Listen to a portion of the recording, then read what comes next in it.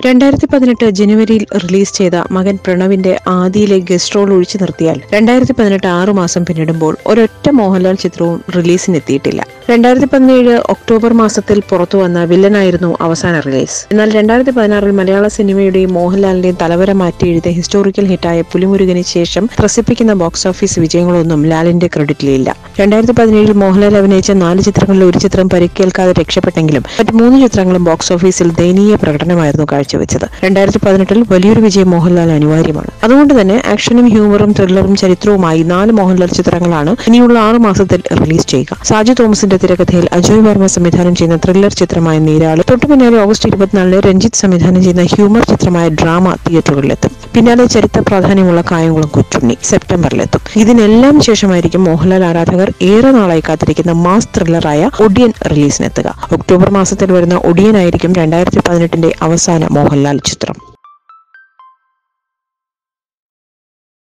You are watching You are watching You're watching me and you're watching me on, on metromatney.com. on metromatney.com. metromatney.com.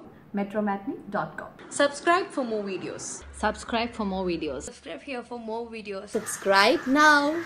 Thank you.